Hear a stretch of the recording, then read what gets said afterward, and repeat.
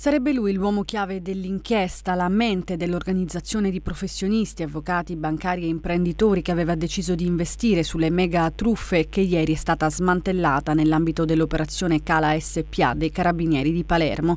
L'avvocato Alfredo Tortorici, 43 anni, residente in Inghilterra, secondo l'accusa era la mente della banda, l'uomo chiave, colui che grazie ai suoi contatti internazionali, gli agganci e le coperture giuste poteva garantire il successo delle operazioni pianificate state. Persino il colpo da 40 milioni ideato nel 2010 che avrebbe dovuto svuotare i conti dei fondi pensione dei dipendenti del Monte dei Paschi di Siena era farina del suo sacco.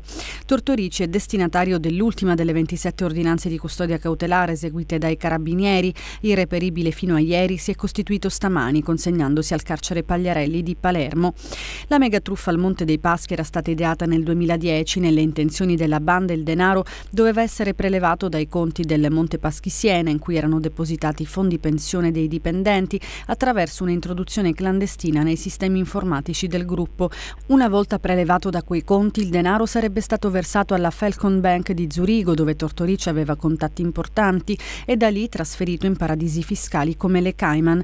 Una truffa di proporzioni enormi, quasi da film, ma semplice da realizzare perché l'organizzazione contava sulla complicità di un dipendente infedele della banca, Francesco Spataro, anche lui finito in carcere ieri, e sull'abilità di alcuni operatori informatici cosiddetti cracker Alessandro Aiello, Fabrizio Spoto e Giuseppe Burrafato, ora ai domiciliari.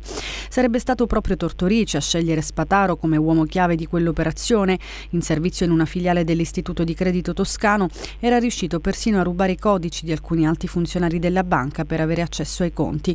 Tutto questo era stato scoperto dai carabinieri in tempo reale ed alcune intercettazioni nell'ambito di un'inchiesta di mafia avevano appreso il nome di Lorenzo Romano vicino al boss Mandalà e avevano piazzato le microspie nella sede della sua società di consulenza, l'Advisor Team, alla Cala, che però era anche la centrale operativa delle truffe e furono proprio quelle cimici a rivelare agli investigatori i progetti del gruppo. La polizia mise in allarme il Monte dei Paschi di Siena e il maxi colpo fallì. Tante altre però sono le truffe pianificate dal gruppo e scoperte dai carabinieri. L'unico colpo andato a segno, quello sugli incassi delle cessioni del quinto e dell'indennità di disoccupazione, realizzato attraverso un sistema di prestiti, società fantasma, licenziamenti e fallimenti fittizi.